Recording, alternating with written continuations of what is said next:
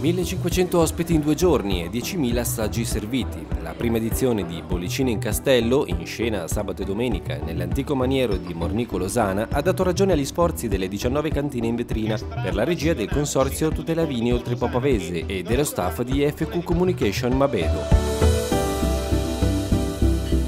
weekend trascorso tra colloqui, amicizia, bottiglie sciabolate e calici sorseggiati con grazia accanto a creazioni culinarie d'eccezione.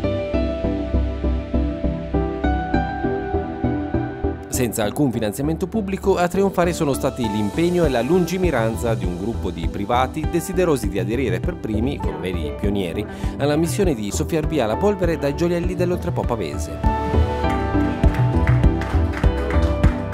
provincia di Pavia e il comune di Mornicolosana hanno concesso il patrocinio e partecipato con entusiasmo alla due giorni, dando un segnale di condivisione e di unità.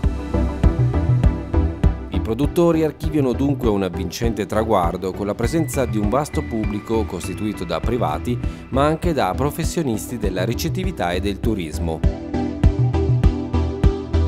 In vista di Expo Milano 2015 è molto importante valorizzare il colpo d'occhio inedito sulla patria del vino di Lombardia.